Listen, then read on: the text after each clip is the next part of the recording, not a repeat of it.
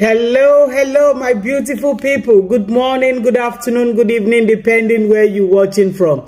This is Annie channel on YouTube and also Annie page on Facebook. We are always streaming from New Zealand. So today, I want to talk about why talking about your ex if you know you are not interested in your ex.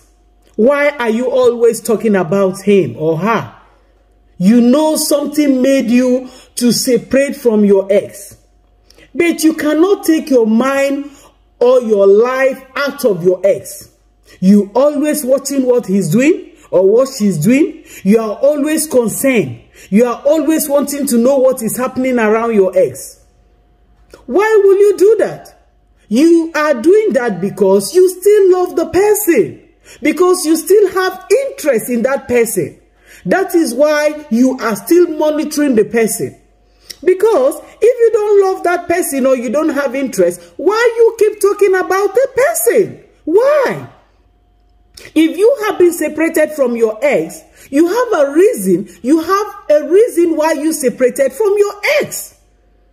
So for you to still be monitoring your ex, be watching what he's doing, it shows you are still interested in that person. First and foremost,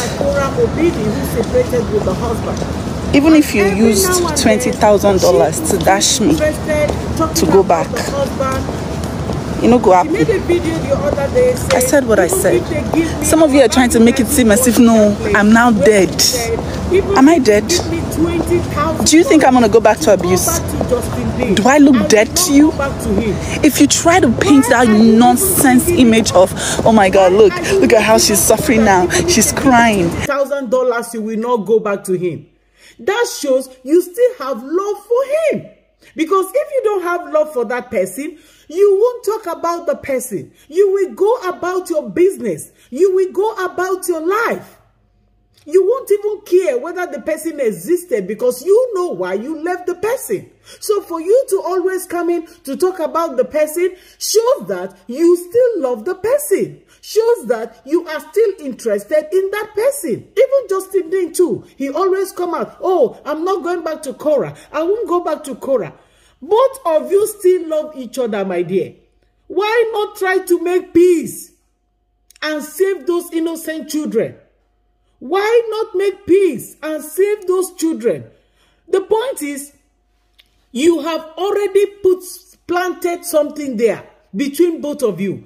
And that thing you have planted is the children. Those two children there will continue to remain with you forever. We will continue to remain with both of you forever. So that means you cannot separate yourself.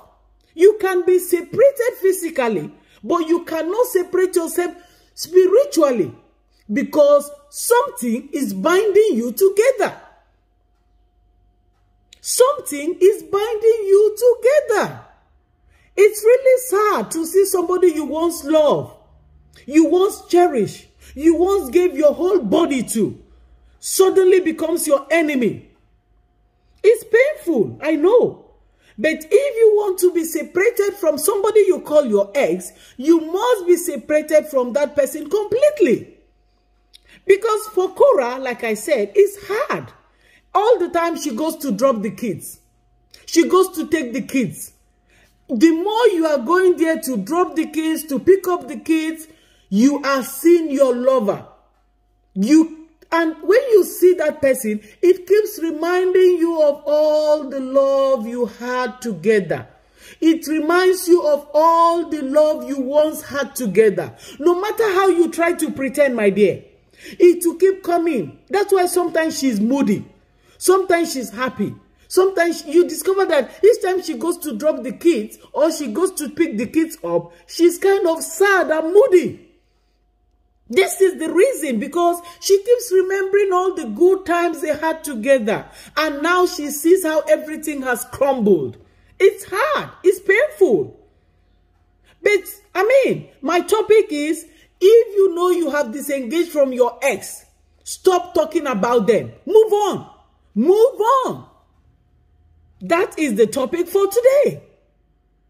The more you keep talking back on your ex or still talking things about your ex is like the woman with the salt who look back. You have already moved and then God say, don't look back. And you look back. And what happened to the woman? She become a pillar of salt. So please, don't become a pillar of salt. If you have forgotten about your ex, move, move, move, move forward. Stop coming to remind us that, oh, even if they give me $20,000, I won't go back to my ex. Who asks you? Who asks you? You are invariably telling us that you still love him. That is why you're talking about him. So please, let's learn how to be honest in whatever we are doing. I'll end this video here and I'll see you all in my next one. Bye.